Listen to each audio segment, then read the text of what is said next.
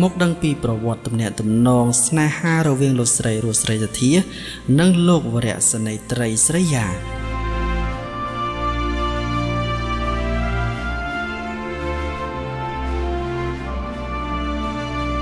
មុននឹងអត្ថាធិប្បាយខ្ញុំសូមរំលឹកត្រួសត្រាអំពីស្វាមីមុនមុននិងសង្សាររបស់អ្នកស្រីរស់ស្រីអាធាជាមុនសិន ហើយសូមឲ្យអ្នកកំសោចជុំកុំចំអកចំពោះព្រំលិខិតនៃជីវិតអ្នកចម្រៀងដ៏ផុសរបស់យើងព្រោះរកស្រីគ្មានប្រាថ្នាជីវិតបែបនេះទេ តែទេវតាជាអ្នកគូសវាដោយជៀសមិនរួចដំបងពេលចេញច្រៀងនៅវង់ភ្លេងនៅបាត់ដំបង អ្នកស្រីមានស្នេហាជាមួយអ្នកចម្រៀងម្នាក់ត្រឹមសង្សារតែមិនបានដូចបំណង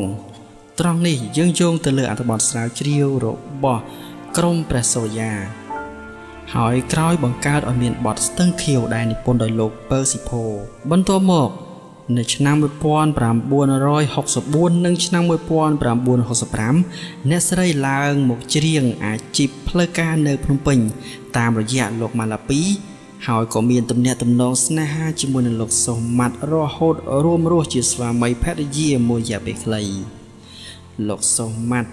ជាងអាចហៅថាស្វាមីដំបងព្រោះបានរស់នៅផ្ទះជាមួយគ្នាទោះបីជារយៈពេលខ្លីមិនដល់មួយឆ្នាំក៏ដោយបន្ទាប់មកនៅឆ្នាំ1967នោះលោកស្រីបានវិលទៅបាត់ដំបងវិញព្រោះខ្លាចលោកសុសម៉ាត់កុំរៀមផ្សេងផ្សេងក្រោយមកលោកស៊ិនស៊ីសមុទ្របានទៅតាម យកមកច្រៀងឡើងវិញនៅឆ្នាំ1967ដដែលមូលហេតុ ដែលអ្នកស្រីត្រឡប់ទៅខេត្តបាត់ដំបងវិញគឺដោយសារតែលោកសុម៉ាត់នឹងមានការប្រចែកប្រច័ណ្ឌអ្នកស្រីខ្លាំងពេកហើយក៏បានឈានទៅដល់ការវីដំច្រំធាក់លោកស្រី នៅក្នុងចំណោមវងមនុស្សជាច្រើន នៅកន្លែងរាំងកសាមួយ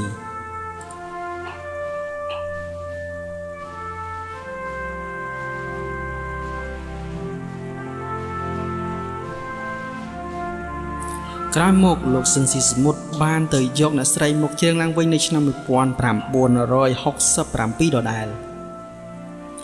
បទដំបងដែលអ្នកស្រីច្រៀងពេលវិលត្រឡប់ពីបាត់ដំបងវិញ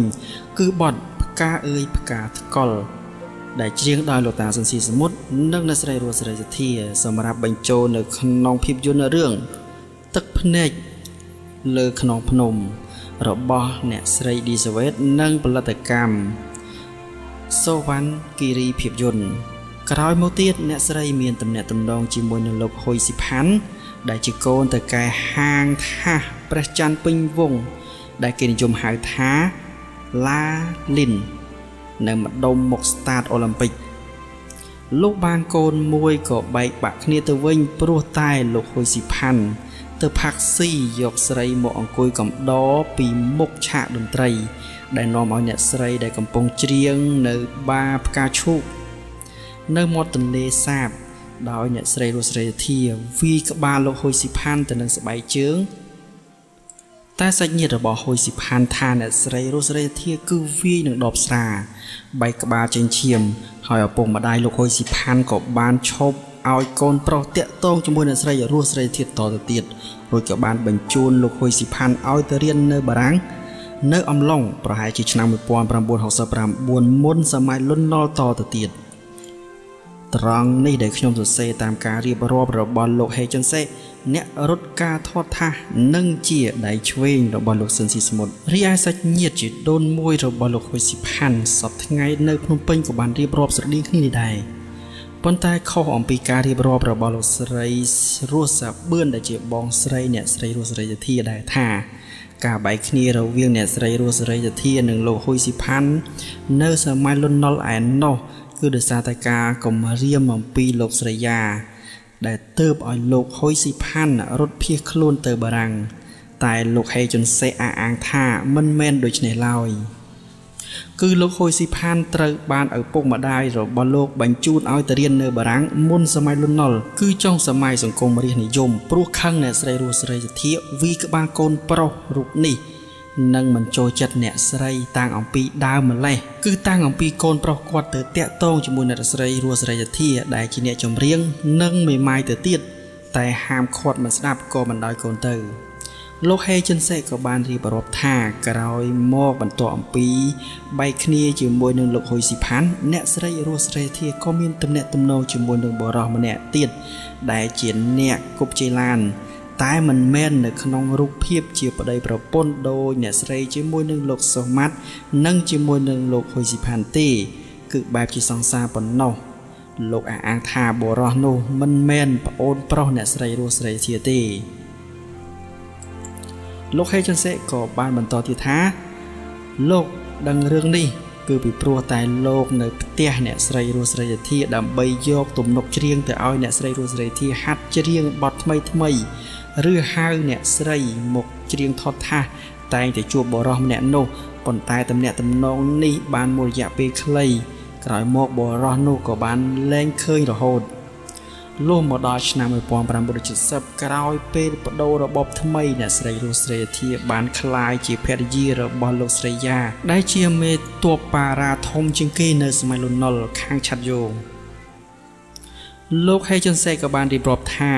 ការដែលអ្នកស្រីរស់ស្រីធាក្លាយជាប្រពន្ធចុងរបស់លោកស្រីយ៉ាគឺមិនមែនលោកស្រីយ៉ាស្ទាក់ចាប់ពេលដែលចេញពីច្រៀងនៅពេលយប់គឺរឿងរ៉ាវគឺមានរឿងរ៉ាវផ្សេងផ្សេងទៀត លោកក៏បានរំលឹករឿងនេះថាក្រោយអំពីរដ្ឋប្រហារឆ្នាំ1970អ្នកស្រីរស់សេរីធាបានចូលច្រៀងនៅវង់ភ្លេងទាហានឆាត់យងក្រោមការគ្រប់គ្រងរបស់លោកស្រីយ៉ាថ្ងៃមួយលោកស្រីរស់សេរីធាកំពុងតែច្រៀងនៅលើឆាកតន្ត្រីកងទ័ពប៉ារ៉ានៅម្ដុំពោចិនតុងលោកស្រីស្រុកស្រីយ៉ាក៏បានជិះឡានទៅមើល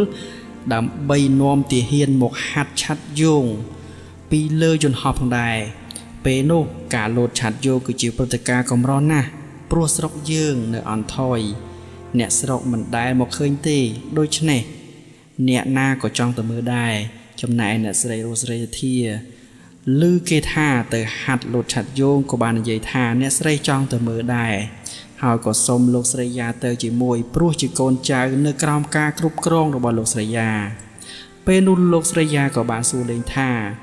សុធាឯងទៅមើលនឹងហ៊ានលោតឆាតយងអត់អ្នកស្រីរស់ស្រីធាក៏បានមានចំណងចំណូលចិត្តខាងកីឡាតាំងពីក្មេងហើយពូកែរត់ប្រណាំងនិងជាអតពលិកផ្សេងផ្សេងផងនោះក៏បានតបយ៉ាងមើងមកថាខ្លាចអី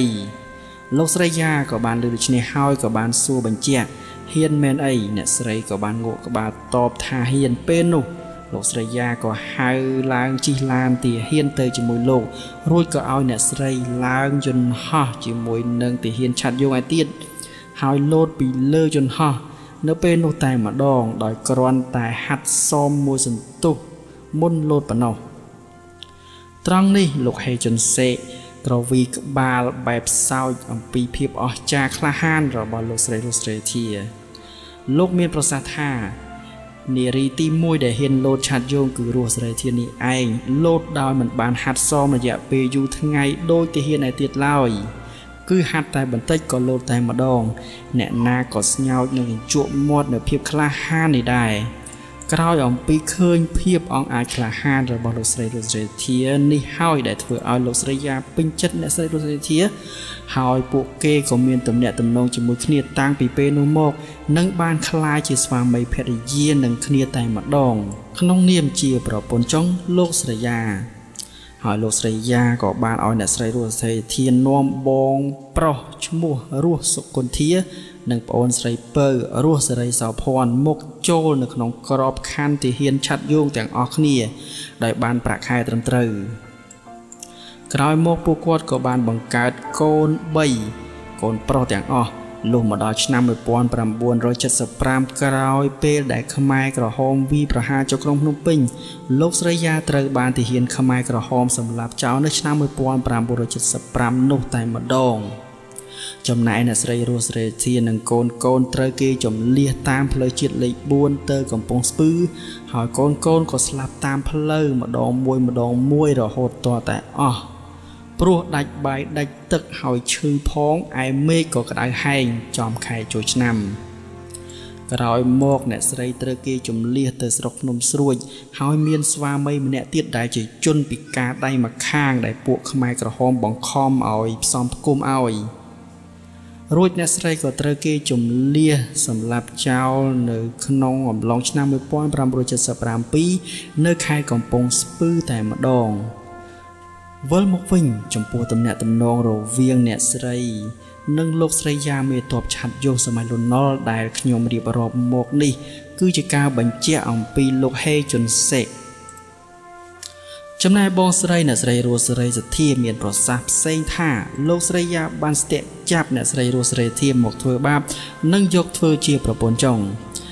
ចំពោះរឿងរ៉ាវនេះខ្ញុំបាទស្រាវជ្រាវមិនទាន់ខាងដឹងថាខាងណាទេពីព្រោះការសរសេរតាមការរៀបរាប់របស់រៀនច្បងប៉ុណ្ណោះ